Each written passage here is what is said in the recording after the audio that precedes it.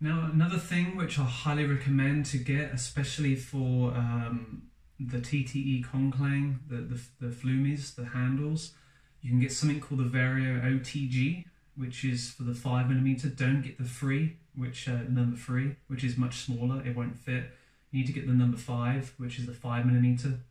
And this works on the handles of a lot of Flumies, especially the TTE KongKlang. It does work on other Flumies I've used in the past, but it's mainly used for their own brand.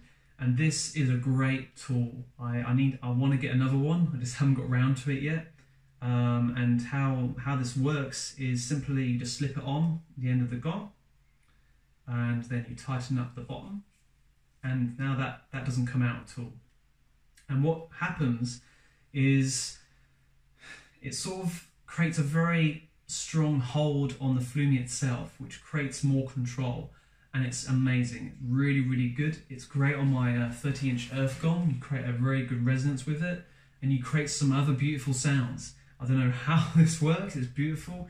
What's inside is you have to be careful uh, because this top part unscrews and comes off.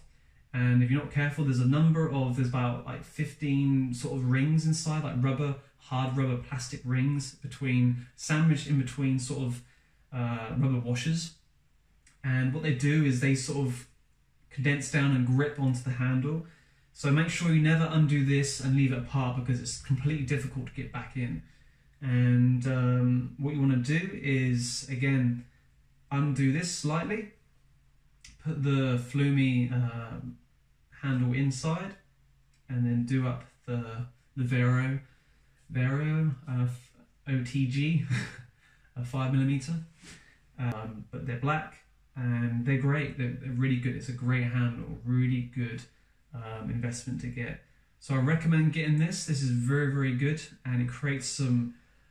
It's like having stabilizers for your bike. It has more control, and uh, it's it's really, really good. So I recommend getting one of these. I need to get another one so I can play two at the same time. Um, and independently, once you've got the gongs going, you can change them over very, very fast just by having the flumies next to you and as you can hear, it makes no sound at all. It's very discreet, no one's going to know, and it creates some really good tones. So check out the other videos. I'm going to demonstrate how to uh, play with these in all the little clips. So thanks for watching, and I'll see you soon.